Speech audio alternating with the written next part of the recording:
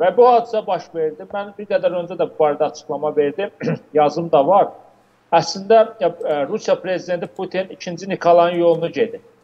1917-ci ildə deməli 14-cü də 1-ci dünya müharibəsi başlayanda Rus imperiyası bu müharibəyə qədər yəni iqtisadiyyatı normal vəziyyətdə idi.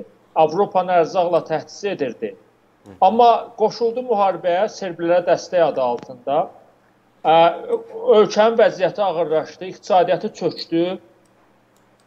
Orduda ixtilaf yarandı və bolşeviklər bundan sui-istifadə edərək o zamana qədər heç bir belə deyək, nüfuzu olmayan bolşeviklər çox liderlərin çoxu da Avropada gizlənmişdi, başda Lenin olmaqla. Çevriliş etdilər.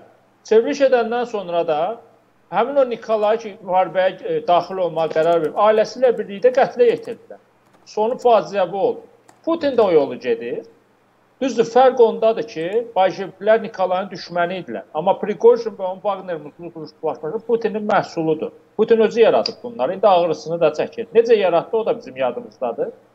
Putin bir gün düşündü ki, Amerikanın əgər muzlu qruplaşmaları varsa, Rusiya da ki, özünə görə böyük dövlətdir, Rusiyanın da olsun. Və dostunu çağırdı yanına Prigojinə. Halbuki dostu hərbçi də deyildi. Ərzaq təchizatı ilə məşğul. Dedi gəl sən bu işi götür üzərinə. O da götürdü üzərinə. Yaxşı pul qazanırdı. Liviyada, Suriyada, başqa Afrika ölkələrində diktator rejimlərə ə, dəstək verirdi. Pul qazanırdı. Amma bir gün Ukraynada müharibə başlayanda Putin Prigojin əmr elədi ki, gəl Ukraynada savaş. Ukraynada savaşa da girişəndə Prigojin gördü ki, bunun ət maşını kimi istifadə etmək istəyirlər. Yəni ölümə göndərirlər. Onu və bunun buzlu qruplaşma. Bu da bəli. gedib bütün həbsxanalardan e, məhbusları buraxdırmışdı. Sizə döyüşdən sonra rahat həyat vəd edirəm.